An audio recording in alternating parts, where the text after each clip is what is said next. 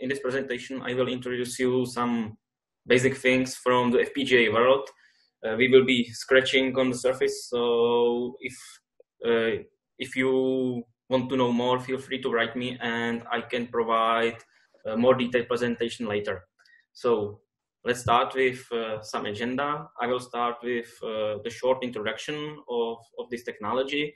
Then I will tell you how the FPGA is working, how to then how to program it, and after that we will have plenty of time for for the discussion.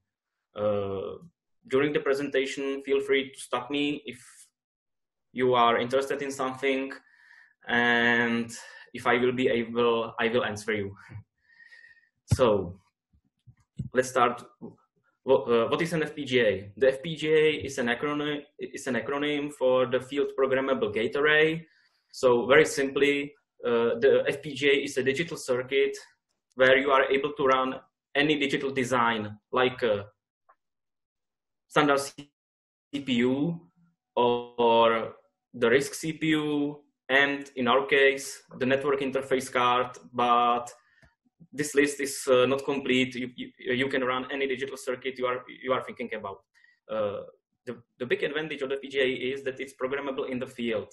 Uh, you can implement the high performance digital circuit so for example if you want to process uh, network traffic at speed of 100 gigs then you can uh, implement the implement the hardware which is capable to to uh, process it. And the big advantage is that uh, you don't that you need to solder or connect uh, something with cables. You can develop the digital design from the design tool.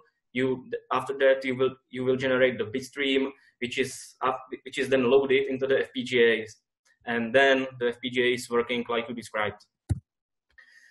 So uh, some some advantages and the, and disadvantages for the FPGA, uh, as I already said, in the field, is capable to reach high performance because you are running the hardware and very typically you are programming uh, the digital circuit or a device which is embedded for one kind of operation and this allows you to to optimize the approach on a clock level uh, the FPGA is highly parallel because the hardware is parallel, parallel from nature and you are just using it. And another big advantage is that you are capable to develop the hardware very rapidly because if you made a mistake, then you can fix it and resynthesize the whole design. And after that, you will get a bitstream with a fixed error. Uh, now, disadvantages. You need to learn the hardware description language. It's, it's, it is a special kind of language for the, for the description of uh, digital designs. The most popular ones are uh, the VHDL and Verilog. And sometimes it's very tricky to program in it because you are you are working on a on a clock level so debugging takes uh, much more time uh, it can be very hard for uh, for a, for a large and complex designs and and uh, yeah it can be very tricky but uh, it allows you to but, but it allows you to control the design on uh, on, on the lowest possible level uh, architecture matters so if you want to reach the high performance then you need to think about the architecture and you have to optimize it for the given purpose. And another dimension is that you need to meet the, cir the circuit timing. So, so uh, when you are programming FPGA, you, for example, need to reach the frequency of 200 megahertz. And if the critical path through the design, which is the time uh, which is the time of uh, of the longest uh, way through the design, uh, if uh, if uh, this path is so high that you don't that you can't meet the design uh, timing, then you need to uh, make some changes. For example, insert some registers, implement some pipelining, and so on. So this is a really so this is a really new dimension for uh, people who are typically programming in uh, C or C++. So with FPGA, you can develop any digital cir circuit without soldering. Uh, you you are not uh, you, you don't need to use the breadboard cables and any integrated circuit. And if you made a mistake you can easily recompile uh, the whole design. Uh, the FPGA is typically used as the main uh, unit for data processing which is in our case when uh, where we are where we are using the FPGA on uh, for the processing of network data. Or uh, another typical approach is that uh, the FPGA is used in tandem with uh, the standard CPU unit for implementation of co-processing uh, and hardware accelerator units. So, for example, you can implement the the uh, hardware accelerator for the data compression, and if you uh, and if you need the and, and, if you need another hardware accelerator, for example, for the processing of network data, then you can then you can swap the the, the bit stream in the FPGA and you can uh, customize the FPGA to to make another kind of uh, the hardware of the accelerator thing. So uh, the main the main FPGA vendors is Xilinx and Intel. Uh, both vendors provide provide low end and very cheap FPGAs and high end very expensive FPGAs. Uh, some FPGAs are also available with uh, the ARM cores. And if you look on the internet, then you will find a lot of development boards. Uh, I, I chose just two of them.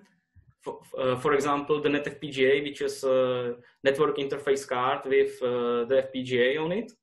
Uh, it has four 10 10 gig port. Uh, it's equipped with uh, the PCI Express Gen 3 uh, slot.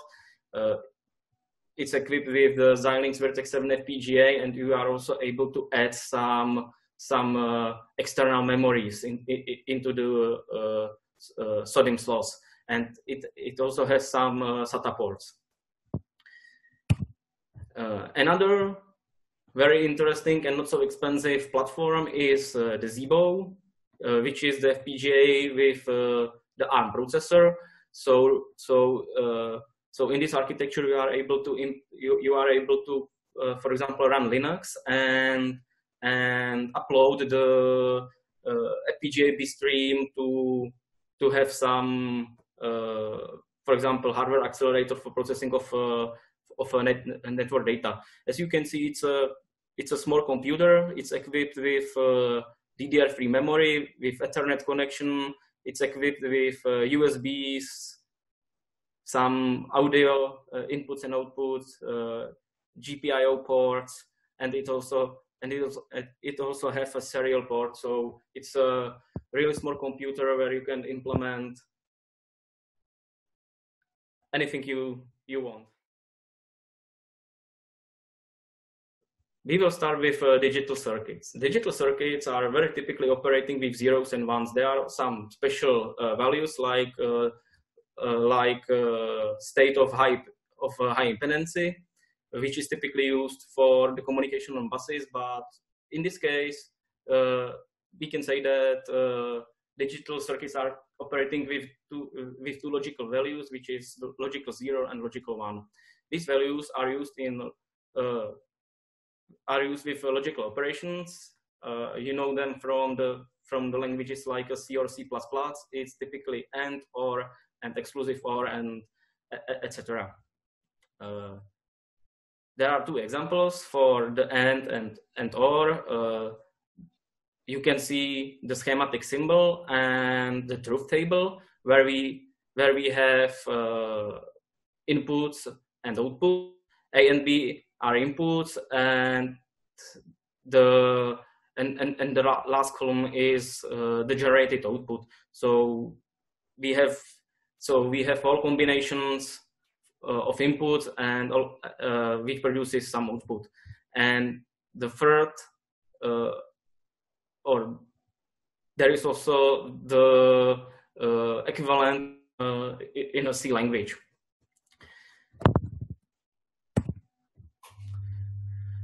So logical operations are then grouped into logical equations uh, where we can use the Boole's algebra to, to simplify them.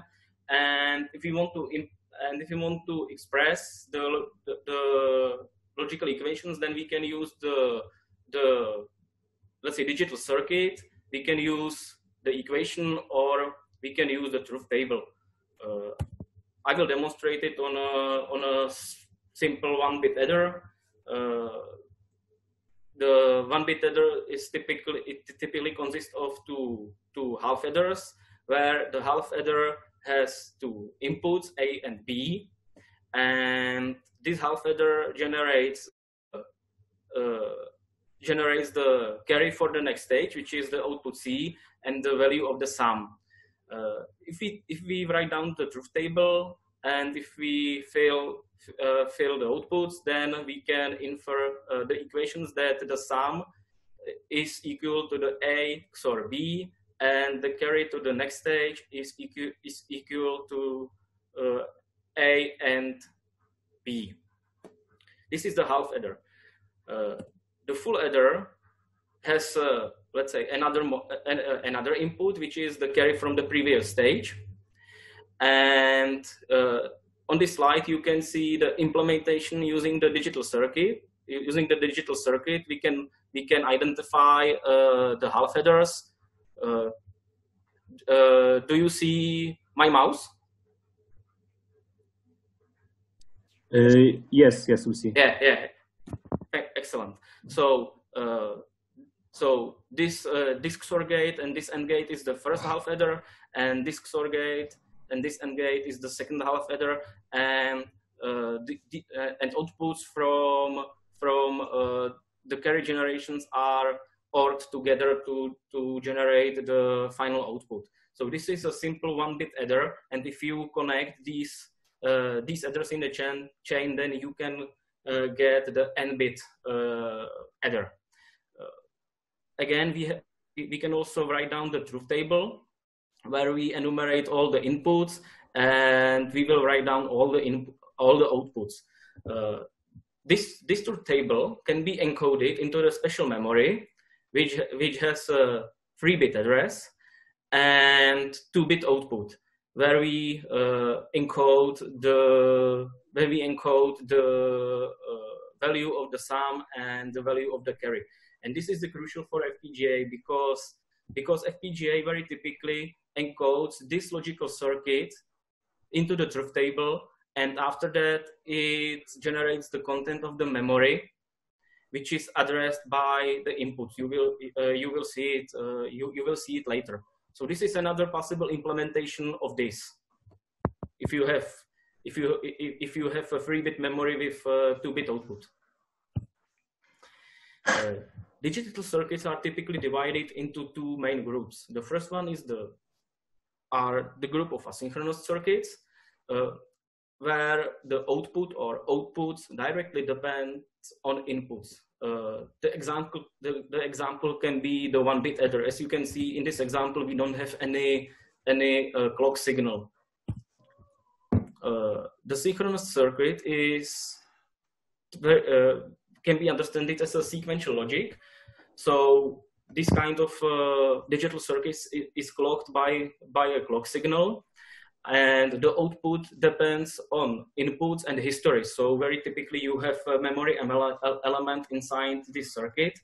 Uh, for example, the, the one bit register, which is called as a D flip-flop and uh, the, and for example, the register is a is a is a circuit where the input when when the input is passed to the output and hold uh, after and it, uh, and hold after the rising edge of the clock cycle. I will show you uh, the example on the next slide.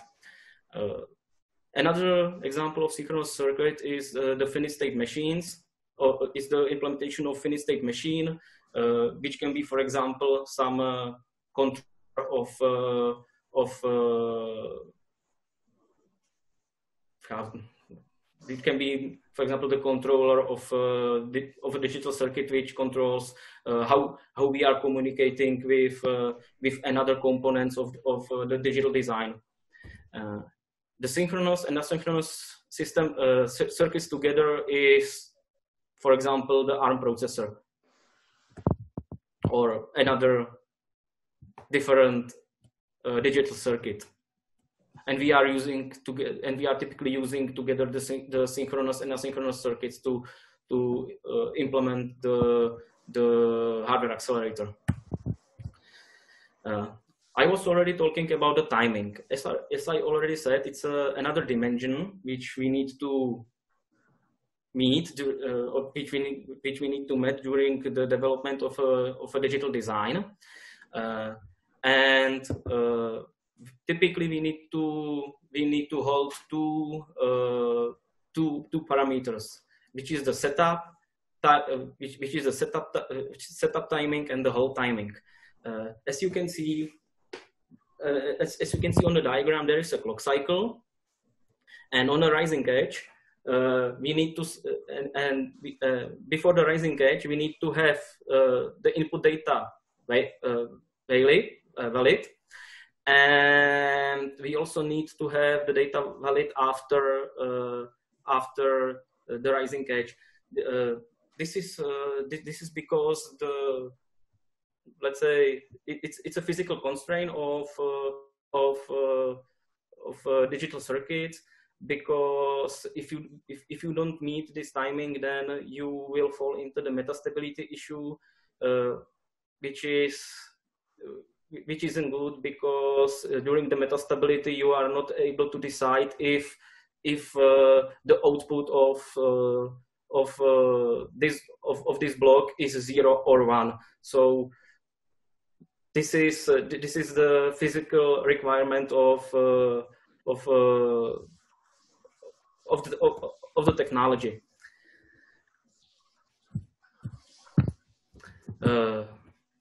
now, how the FPGA looks like, uh, it's a it's a 2D structure of uh, of configurable logical blocks which are connected together via a configurable uh, interconnection network. Uh, then we also have some special blocks which are which are uh, dealing with the output and input from the FPGA. So using these outputs, you are able to communicate with another circuits on on the board.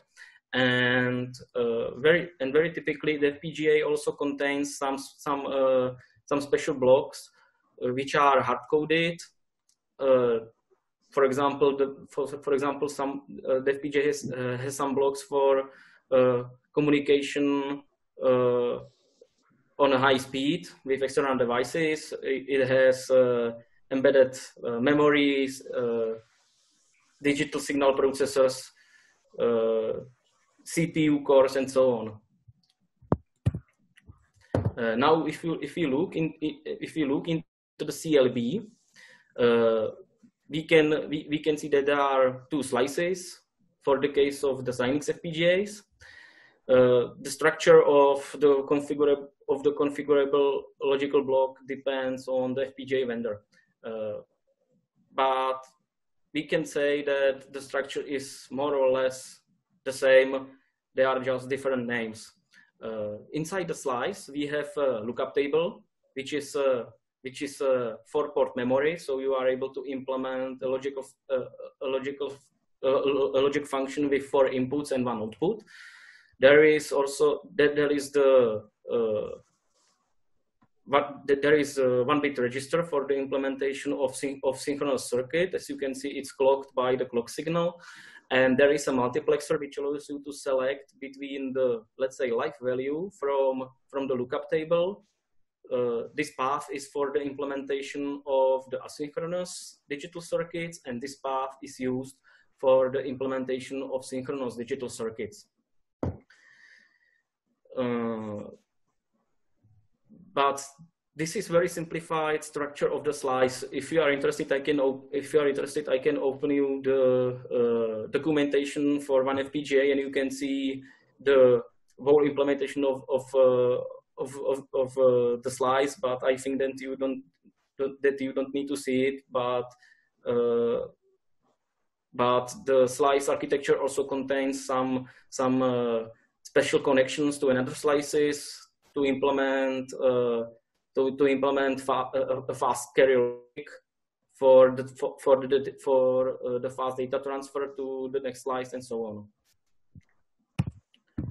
Uh, FPGA also contains uh, uh, RAM blocks, which are distribu which are typically distribu uh, distributed in columns, as you can see here in the figure. I've also looked into the documentation to to uh, to demonstrate that the memory on the FPGA is not so big.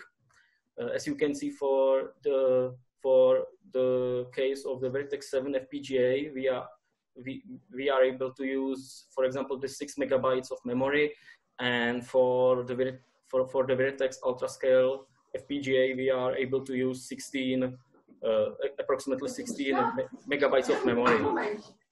Uh, so as you can see, internal memory is, is uh, not large, and extra, so the external memory is really is really needed. Uh, due to this, uh, the FPGAs are also some FPGAs are equipped with uh, the new generation of parallel memory, which is the HBM or or or, or HMC. So, sorry, sorry, -hmm. but if everyone can mute because there is some noise background. Thank you very much. okay, thank you, Xavier. Uh, or there is also capability. Uh, there is also possibility to connect the external memory uh, to the FPGA. Uh, in this case, the the memory controller can be implemented in a logic, or there can be a special uh, hard-coded block. It depends on the FPGA. The FPGA is also typic, very typically equipped with uh, digital signal processor and, and special uh, multipliers blocks for the implementation of, uh, of uh, more complex mul uh, multiplication computation for, for the implementation of more complex computation of equations where we want where we need to multiply uh, values together and they are again distributed uh, in in columns across the FPGA. Uh, the clock signal is distributed in FPGA using the clock tree, which is a special low latency network for distribution of clock signal. And as you can and, and as you can see, it's uh, the structure of the clock tree is it's like it's like this. There is a clock signal uh, connected approximately in the middle of the FPGA, and then it's distributed in this regular shape because we want to have uh, the let's say latency of the clock signal is required to be as minimal as possible. Uh, the FPGA also contains the clock manager, which is a special block for modification of source clock signal because very typically uh, you have uh, you have a source of the clock signal on on the board. Uh, let's say that the generator generates a signal on the frequency of 100 megahertz, but you want to run the the uh, you want to run your design on the half frequency so you need a special uh, block which is able to, to, to modify the clock signal. And this modified clock signal is then connected into, into the uh, clock tree to, pro, to, to provide the reference clock for the design. Uh, this this this this, uh, this block is called uh, as a clock manager or a DCM, digital clock clock management. Uh, this circuit is capable to modify the frequency and the phase of the clock signal. Uh, as you can see, there are uh, output named C, uh, CL, CLK. So, for example, from from uh, this output, the the clock uh, signal is shifted uh, by 90 uh, degrees and so you have a lot of capabilities how to connect uh, your design on a desired clock. Uh, the FPGA also contains some so uh, some digital designs can be uh, in, or some cores can be implemented as a soft core and a hard core. The soft core is implemented in logic, so it's implemented in in a, in these configurable logical blocks, and uh, this means that these these blocks consumes uh, resources on FPGA. Uh, so they are synthesized during the during the code translation, and very typically these kind of blocks runs on a low frequency and and the consumes more resources based on on the complexity of uh, the implemented core. But some cores can be are are, are uh, named hard cores, means that they can be directly used from the from the digital design, but you but you don't need to synthesize it synthesize it because they are uh, implemented on a FPGA and if there is some mistake then you are forced to live with it because you cannot reprogram uh, these kind of blocks. Uh, the example of these blocks can be, for example, the PowerPC uh, core, ARM core, or uh, CRC32 blocks. And now just few words how we can program the FPGA. Uh, if we want to program the FPGA, then we then we need to generate a configuration for for, uh, for it. Uh, the configuration uh, contains the content of lookup tables, uh, configuration of interconnection network, and configuration of uh, clock management and and another and another hardware block. So, for example, if we look on the FPGA, or let's say the simplified structure of the FPGA, uh, then the bitstream tell, tells us that uh, our design will be implemented in, let's say, these, these blocks. So we will know the content of the lookup table. We will know the content. Uh, we, we, will know the content of, uh, let's say, the block RAM memories, which are distributed in columns, and then we need to connect these blocks together uh, via the configurable interconnection network. And this is exactly what the bitstream is. It's the configuration of all elements which are implemented or, or which are provided by the FPGA. Uh, each vendor has its own development tool. We don't have we do, we, we don't have any uh, let's say general tool which can generate the bitstream for all FPGAs because because uh, the con because it's uh, it's just the secret of of that of, that vendors how how uh, the, the bitstream looks like how it's generated and so on so in the case of Xilinx uh, the development tool is called as a Vivado, and for the case of Intel, uh, it's uh, called as a as, as a Quartus. Now, if we want to describe the digital design, then we can use the HDL language. You will see some example later, or we can use more abstract language, which is very typical the C or C++ this is the language which is familiar for a lot of for a lot of uh, developers and uh, computer engineers. Or we can use for example the bluespec uh, which comes from the haskell and it has great power for for uh, if you want to express the, the digital circuit, if you want to express the digital circuit, I will also show you uh, some example how the design in a in a BlueSpec looks like and how we can translate it. Mm -hmm. I have a question here mm -hmm. uh, regarding the development tool. Mm -hmm. For example, if it is Vivado, Vivado, mm-hmm. and it is provided uh, as you buy the um, FPGA card or it is free to download? Yeah, yeah. So, uh, so for example, in the case of Vivado, you can you, you can download it from the Xilinx web page. But uh, after that, it depends on the FPGA because some FPGAs are, let's say, uh, if if you buy FPGA, then you need to uh, then you need to buy uh, a license to use it inside of Vivado. Uh, this is very typical for the high-end FPGAs, but uh, if you if you buy some uh, low-end FPGA, then you can use the free version of this tool. So in so in your case, uh, I think you have uh, you have the NetFPGA. In your case, you will need a license to to synthesize the bitstream for this FPGA it, it, it, it depends on, on, on, on, on the type.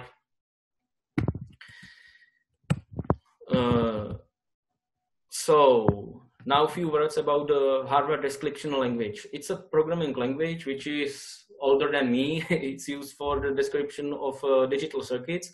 It's uh, really highly parallel because uh, it, uses, it is using the concept of communicating processes which are uh, let's say clocked by the clock by by a clock signal uh, and you really need to think differently when you are programming in in HDL compared to this programming in a C or a C++ because so it's so it's so it's harder to so it's harder to to learn because you really need to think in parallel everything happening in in the same in uh, the same time. uh, you are working on a clock level, so debugging is is uh, is uh, cumbersome. It's it can be very tricky for for more complex designs, and you are and when when you are debugging uh, the HDL code, you are you are looking on a on a waves in a in, in a simulation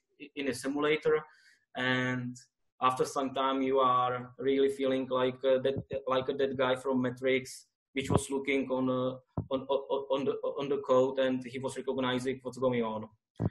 Uh, the most popular HDL languages are the VHDL, which is mostly used here in Europe, and Verilog, which is mostly used in the United States. Uh, I will show you the syntax or an example of a simple uh, counter later.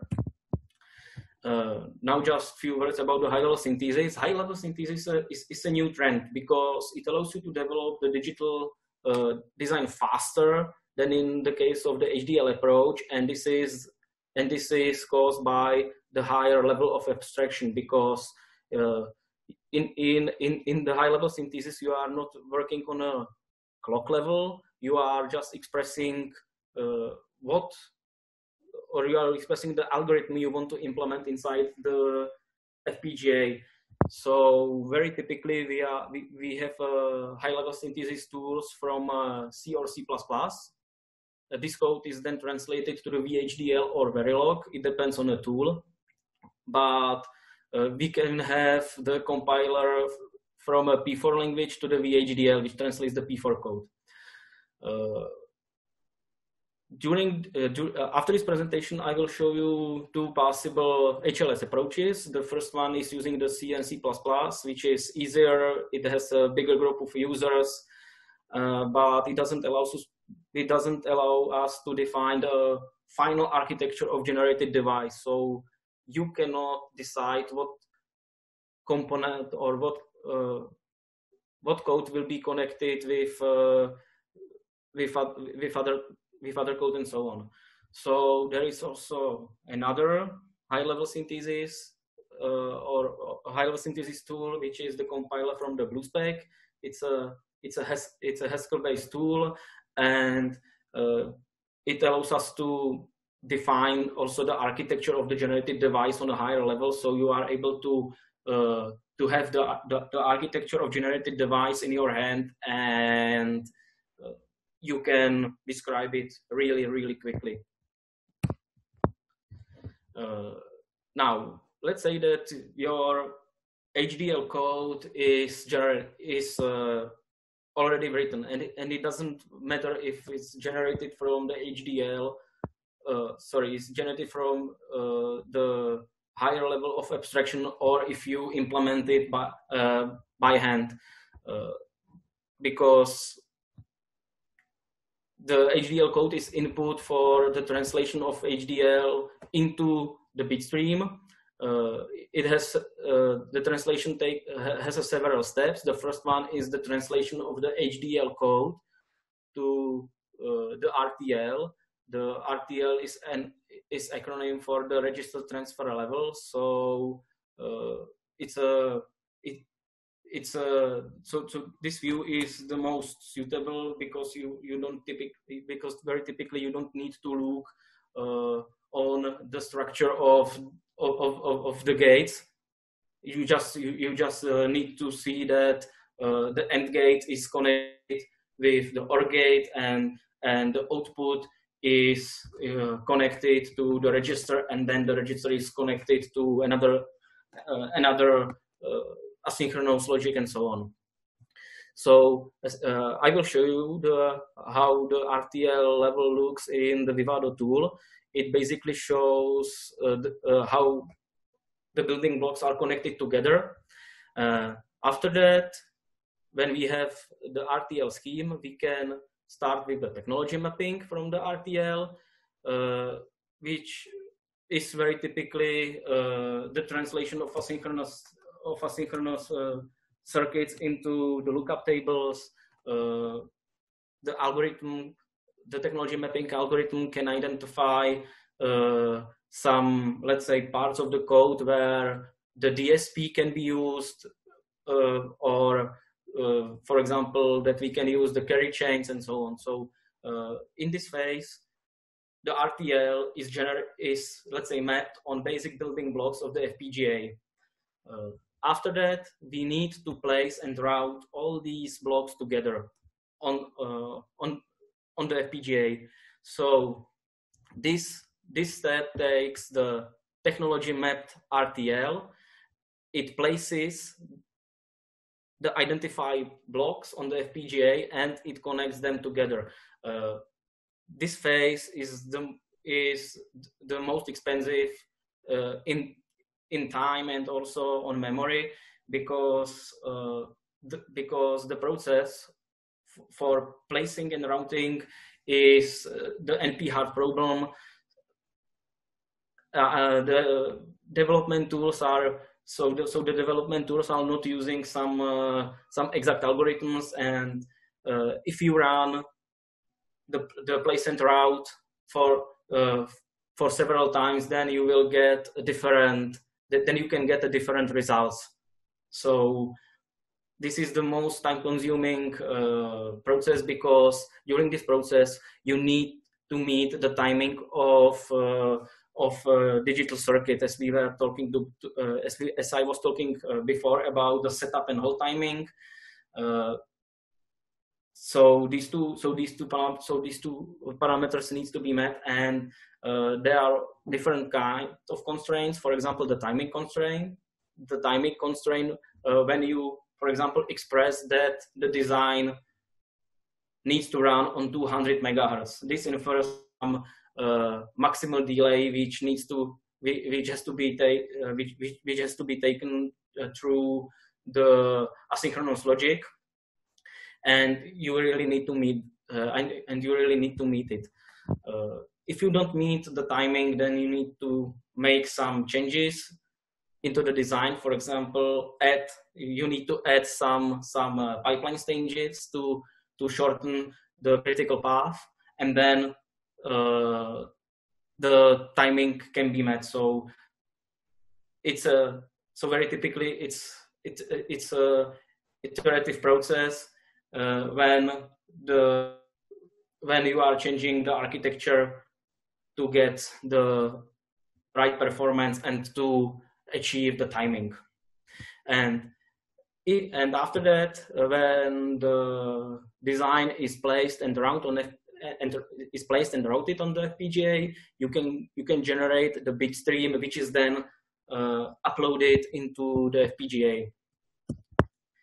Uh, here we can see the development process in the figure. we uh, for the synthesis, which is the transformation from from let's say the VHDL or schematic into the RTL. Uh, the input for the synthesis can be uh, VHDL or HDL sources. Uh, we can also draw some some schematics, and we also need to provide uh, the constraints for for uh, later phases. Uh, the synthesis the synthesis can be if the synthesis was successful uh, then we can or we can use the behavioral simulation to check that synthesis was successful it's a it's a let's say simulation on a clock level uh, then we need to start the implementation phase when we are mapping to the target architecture and we are placing and routing uh, the digital design on the FPGA. Uh, this phase can be uh, in this phase we need to we need to check that the timing constraints where this is done in the static timing analysis tool. I will also show you how the static uh, timing analysis looks like and uh, and after and, and after the uh, and after the place and route phase we can run the timing simulation which is also very uh, which is also time expensive which is very time expensive and uh, in this phase we check that uh, the timing is fine that the digital circuit is working like it was described and it can take a lot really a lot a lot of time. Uh, but uh, but in practice we are fine very we are fine with the behavior with the behavioral simulation because because the uh, the transformation from here to here is typically without a problem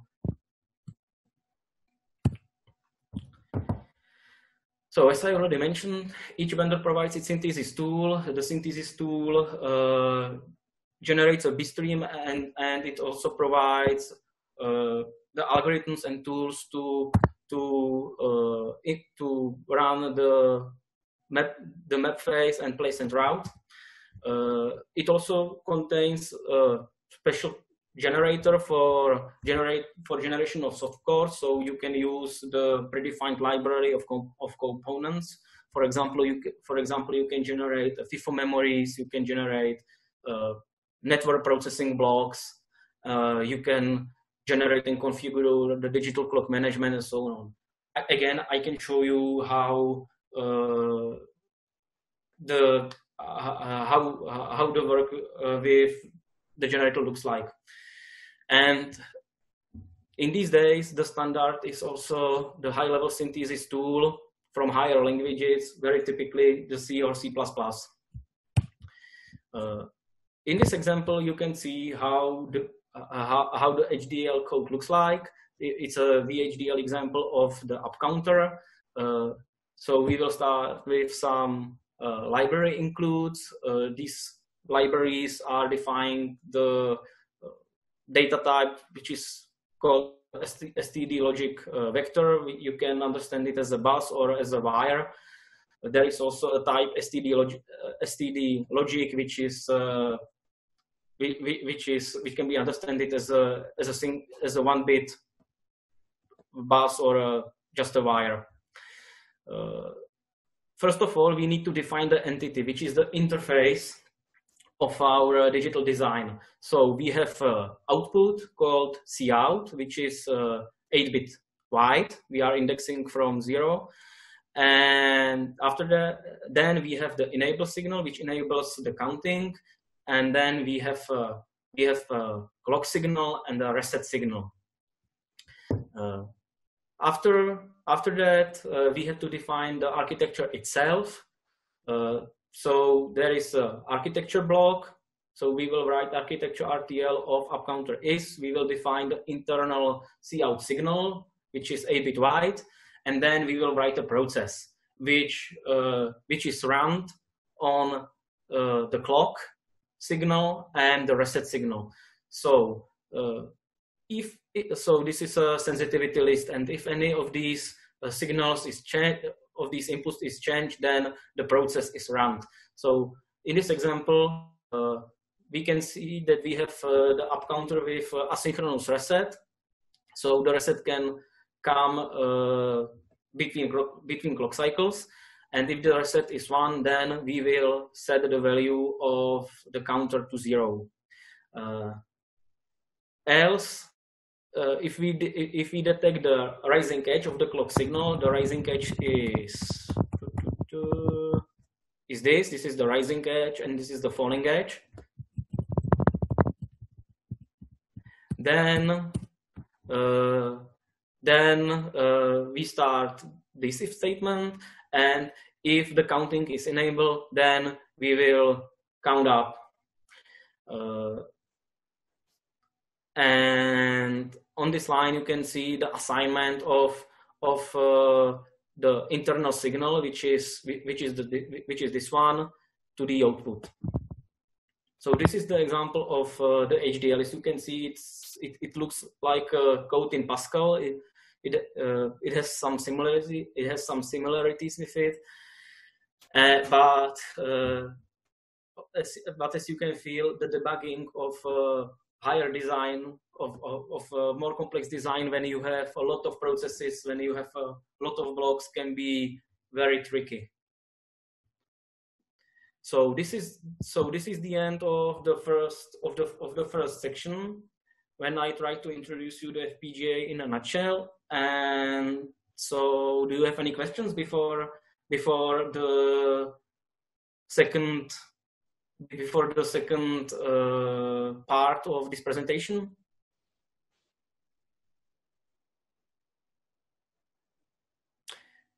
So it seems that, huh? Yeah, uh, mm -hmm. yeah. You. Uh, so my question is very naive. Sorry for that.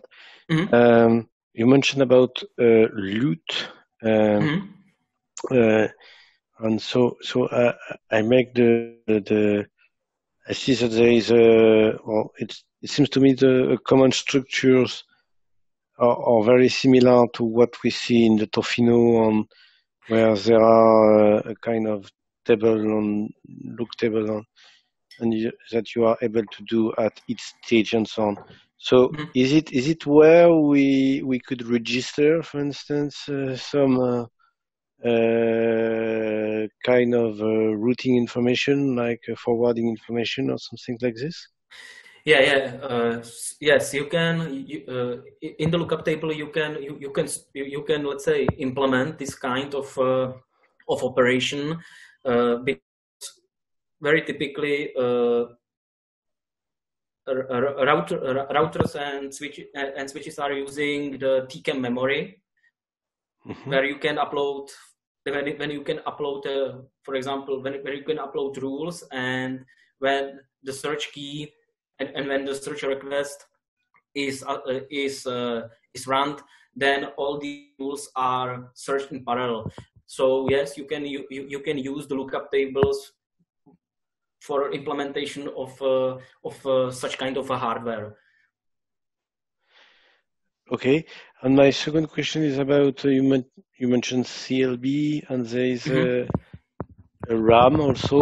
Mm -hmm. So uh, where in our case, which is a network uh, implementation, uh, it is in the RAM. In, it is in the RAM that we will uh, uh, put our FIB.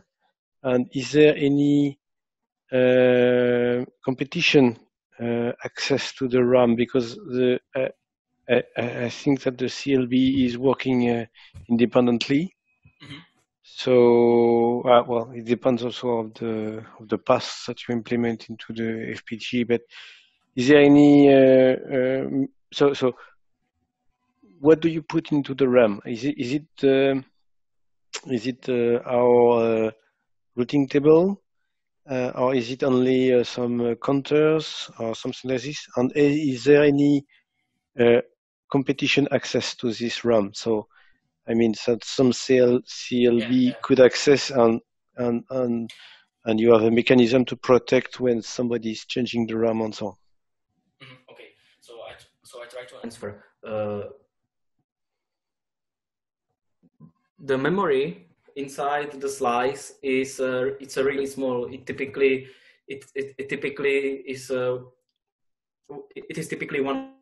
Uh, we we uh, it's it's better not to think about this uh, memory element. It's it's uh, it, oh sorry. Uh, you don't need to think about this uh, kind of memory as uh, that, that it is that it is the RAM. It's a really it's embedded block inside the slice and we are using it for the implementation of, of a synchronous circuit. So, for example, if you want to implement uh, the I understand. I understand that, but uh, on the next slide, you speak about the RAM. Ah, yeah, yeah, yeah, about this. Okay, sorry, uh, sorry. And I, I, so, I, thought that the CLB could have mm-hmm. access to the RAM, but yeah, I may yeah. be completely wrong. Yeah. Uh, no, no, no, you are not wrong. Uh, the CLB can access to the RAM because because uh, for, for here we have a RAM, there is a CLB, and CL and CLB can be connected to the RAM to the internal RAM memory using the configurable interconnection network. Uh, the structure of or the properties of the RAM memory typically depends on the FPGA. Uh, but we can say that, that very typically uh, the memory has uh, two, in, two independent inputs. So you can so so you can work concurrently with the memory block from from two sides. You have you have two independent inputs. So you have two independent uh, address inputs, to independent uh, uh, data inputs, data outputs, and so on. Uh, if you want to, uh, so, so, one, so one CL, so the CLB can ex, can allocate both